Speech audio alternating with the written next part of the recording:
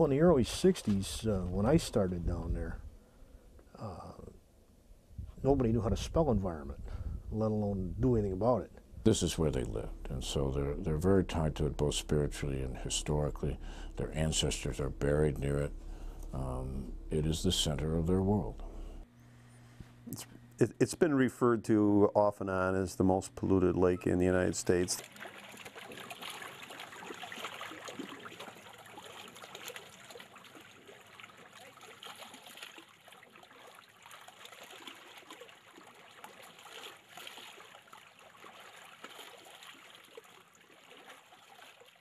This is the story of two lakes. One high in the hills, formed by glaciers, narrow, deep, and pure. The other lake was wider and shallower, but it was a jewel, and it was a holy lake to the Iroquois Indians. One of the lakes is still as pure as the day it was created. The other lake is now one of the most polluted in the world. The lakes are connected in ways most of us wouldn't understand. This is a tale of those two lakes, Skaneateles and Onondaga, the beauty and the beast, and how they became like that.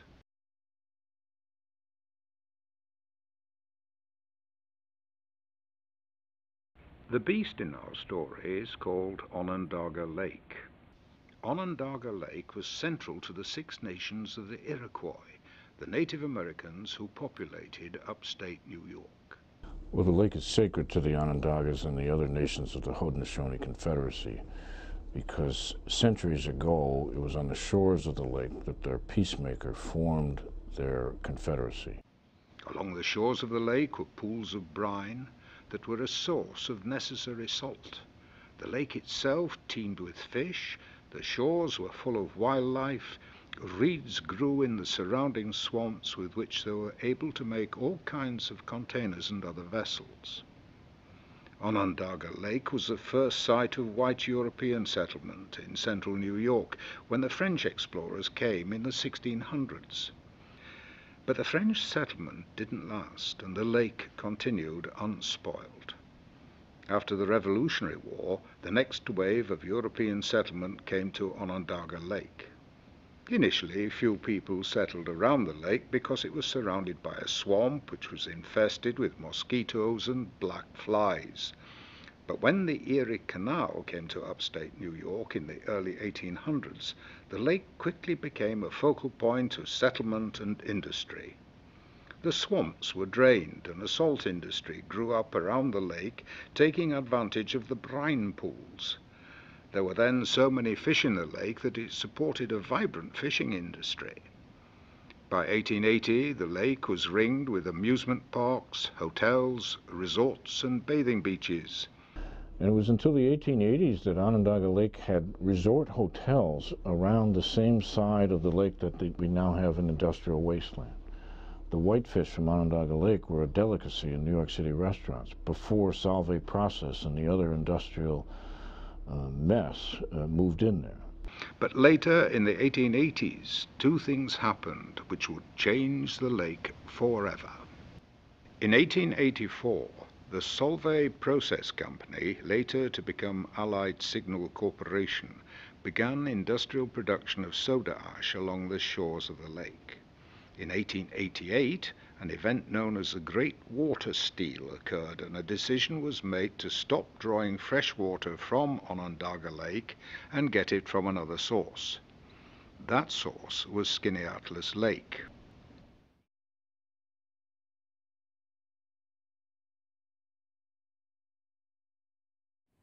William Henry Seward, President Lincoln's Secretary of State, one of the well traveled Americans of the mid 19th century, called Skaneateles Lake the most beautiful body of water in the world.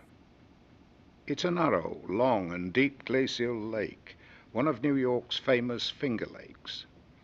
The Iroquois named it Skaneateles, which means long lake.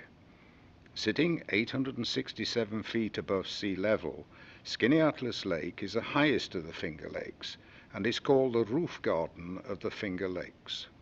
It's almost 14 miles long, with gorge-like sides that drop off quickly.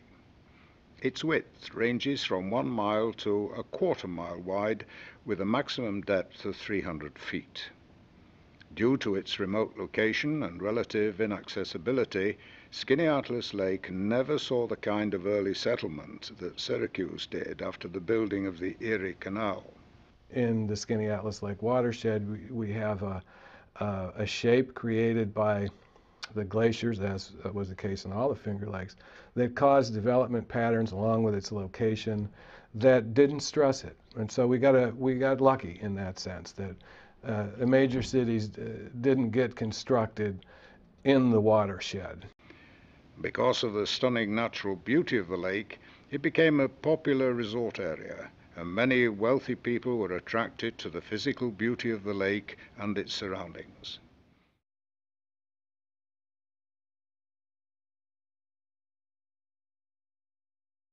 By 1880, the growing industrial city of Syracuse was in desperate need of a reliable and cheap source of water. Onondaga Lake couldn't work because it was lower in elevation than the city, and the city government couldn't afford to pump Onondaga Lake water into their system. Skaneateles Lake, which was 460 feet above the level of the Erie Canal in Syracuse, would ensure adequate gravity flow along the nearly 20 miles length of required conduit. This eliminated the need for costly mechanical pumping. In what became known as the Great Water Steal, the city of Syracuse convinced the New York State Legislature to give Syracuse the rights to the water of Skaneateles Lake. By 1894, a 30-inch cast iron conduit that stretched 19 miles from Skaneateles to Syracuse was completed, and the city of Syracuse started drawing all of its water from Skaneateles Lake.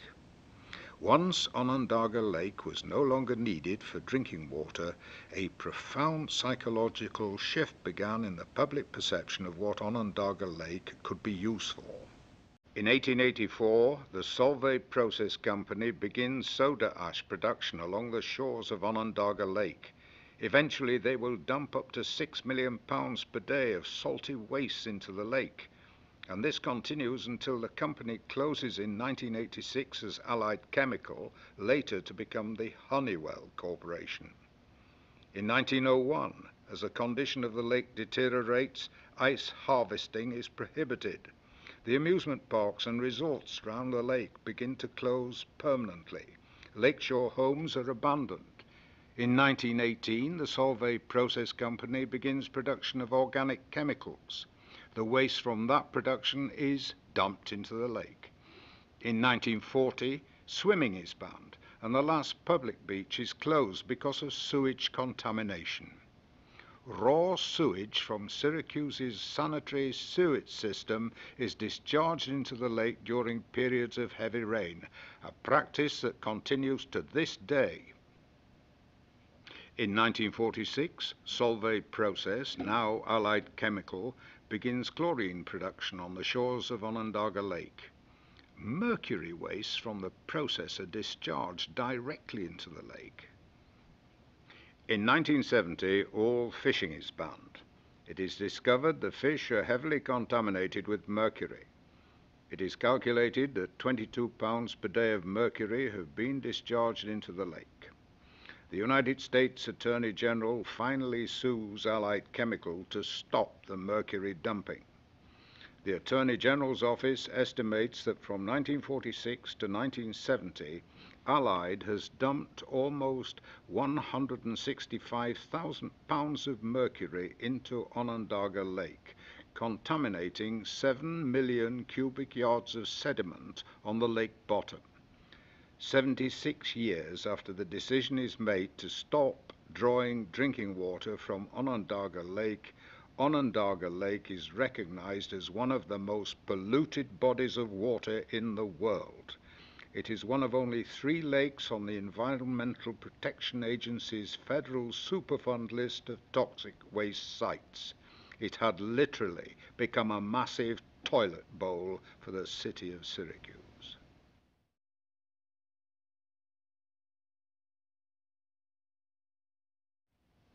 19 miles away, still connected by the same 30 inch pipe, Skaneateles Lake is recognized as one of the cleanest lakes in the world. Today, the city of Syracuse draws 42 million gallons of Skaneateles lake water per day. So pure is its water, it is one of the very few water sources in the United States that does not require filtration. In a nationwide taste test, Skaneateles lake water was ranked second coming in behind only the pure glacial waters of Anchorage, Alaska. Since 1894, the city of Syracuse has enforced around Skaneateles Lake some of the most dramatic and drastic environmental regulations ever developed in the United States. No sewage may be discharged into the lake, treated or untreated, without severe penalty. Because there is no sewage system around most of the lake, the city water department developed a variety of methods for dealing with the waste products of the residents.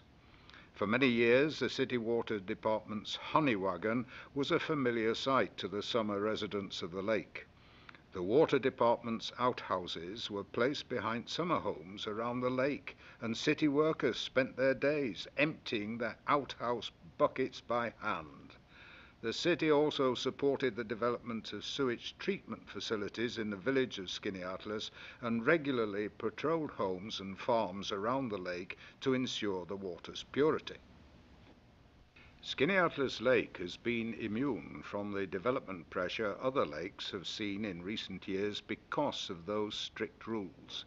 As a result, Skaneateles is almost locked in time it remains the same jewel in 2004 that it was in 1884 when the city of Syracuse first looked upon it as a source of water. A visit to Skaneateles today reveals a quaint village that is a major upstate New York tourist destination. The village sits on the lake on its northern end. It has quaint shops and expensive restaurants. The village sees visitors from around the world and has been the summer home of the rich and famous, including President Franklin Delano Roosevelt, Senator Robert Kennedy, and Bill and Hillary Clinton. Visitors to the village can swim on a village beach or enjoy a stroll along the village pier, which extends hundreds of feet into the lake.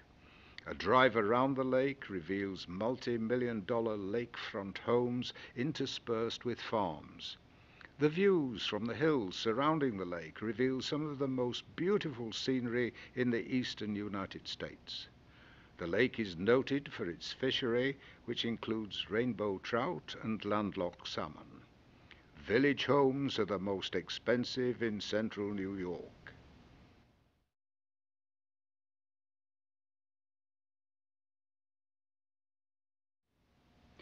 By contrast, Onondaga Lake has no lakefront homes.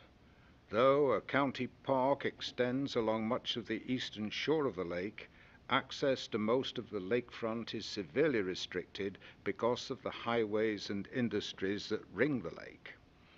A drive around Onondaga Lake reveals heavy industry, a major shopping mall, and areas of restricted access. One might even say that most of the area around Onondaga Lake could be called an industrial wasteland. Old waste beds containing the waste products of soda ash manufacturing tower hundreds of feet above the lake shore. Other areas of industrial waste continue to leak pollutants into the lake. Well, we made uh, we made chlorine gas, um, caustic, caustic soda, uh, hydrochloric acid, uh, all good stuff, you know, very potent. The vast sewage treatment plant of the city of Syracuse sits on the southern end of the lake.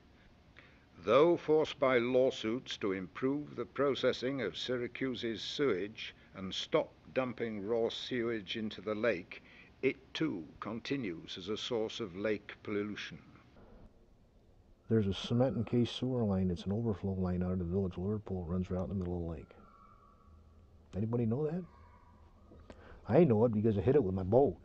it cost me a fortune to get my boat fixed. And that's probably the only reason why I know it. The disagreeable odors emitted by the plant keep people away from usable areas of the lake. Those who do use the lake can fish from the shore or from boats, but are banned from eating the fish. Swimming in Onondaga Lake is still prohibited some 65 years after the first swimming ban went into effect.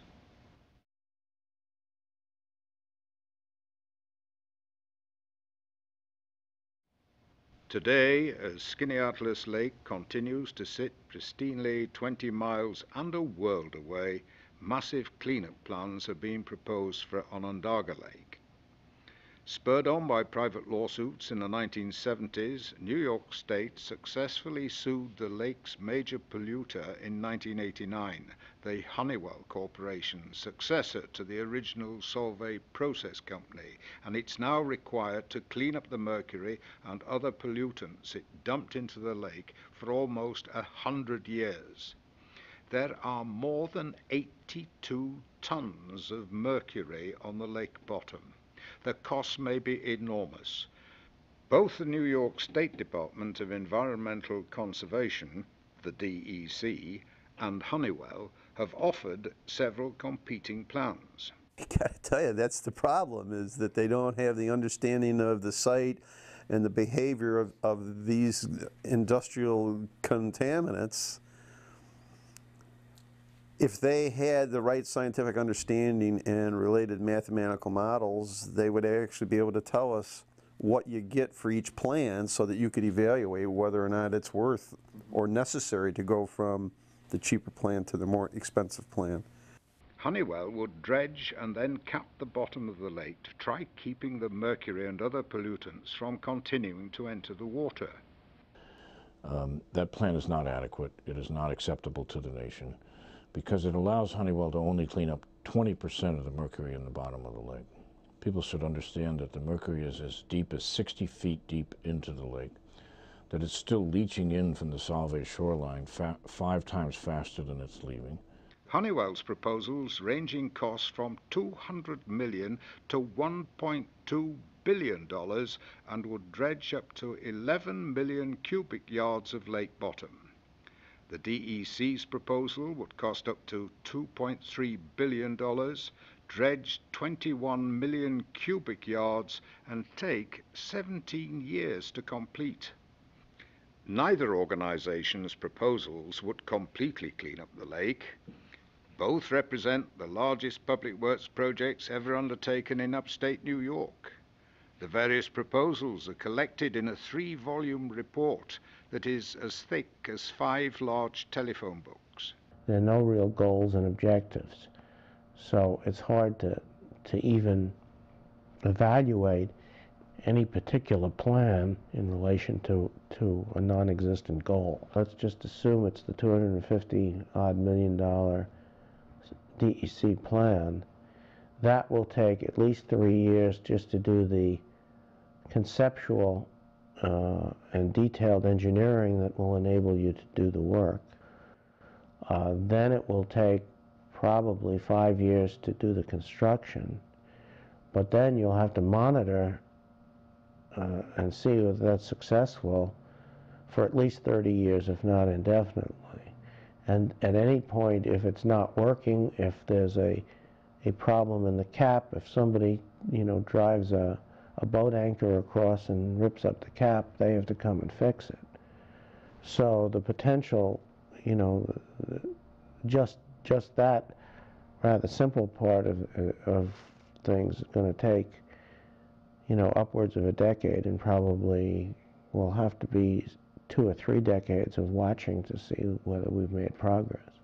At the end of 2004, a new player entered the game their mandate. It's as traditional native leaders, they're they're obligated to try to preserve things for the seventh generation into the future. And part of that now is to try to force Honeywell and other responsible parties to clean up that lake and all of the sources of pollution that go into it. The Onondaga Nation finally filed its long-awaited land claim suit. The Onondagas, like other Native American nations in upstate New York, claim that their tribal lands were illegally taken away in the 18th and 19th centuries. Unlike other nations, however, the Onondagas are not seeking to have their lands returned.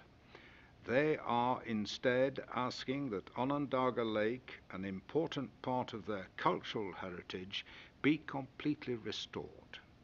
In their view, neither the Honeywell nor the DEC plans go far enough to clean up the lake.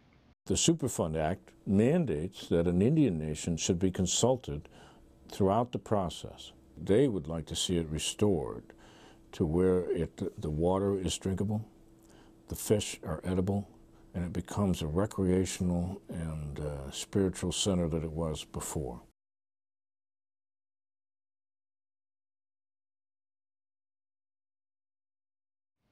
So, what are we to make of this tale of two lakes, the beauty and the beast? As Skaneateles Lake sits serenely far away and high above Onondaga Lake, it too is not immune from the pressures of development. In 1996, the uh, town adopted a comprehensive plan that uh, acknowledged that there was a problem with water degradation here in the lake particularly from agricultural uses and residential development. The farms around it are disappearing as there is pressure to develop more of the shoreline because of the high value that is placed on lakefront property. Farmland that had been in farming for generations is now slowly being turned over into residential housing. When the houses are being built, land is, is, uh, is opened up and, and, and, runoff occurs from, from that that uh, impacts the lake the use of pesticides and herbicides and things of that sort on lawns, uh, septic systems that fail, all those things are potential problems in the future. Its own beauty and desirability may yet be the source of a future downfall. By hundreds of people uh, focused on the maintaining the quality of Skaneateles Lake. And here's a village at the north end of that lake with some of the highest real estate values in this area. So the economics are obvious and the, and the lessons are pretty clear. By allowing even a small amount of development in the wrong place in the watershed could do a tremendous amount of damage. But Skaneateles does have its protectors, and they are wealthy and powerful, and as history has shown, they will go to extremes to protect it. It's the literal proof that, you know, uh, an ounce of prevention is, is worth a, a pound of cure. Uh, it's just so much less expensive to prevent that from occurring than it is to try and resolve or restore a, a, body of water of that size after the, the kind of uh, damage that, that's been done. Uh, that's a lesson that's hard not to learn from, uh, from the Onondaga Lake experience. Unless we get some sort of an organized plan and we get better zoning controls and planning throughout the entire watershed. We're going to get greater development and more runoff into the water. There's, there's a need for vision in this, and there's a need for commitment to do some things that are probably politically unpopular to do.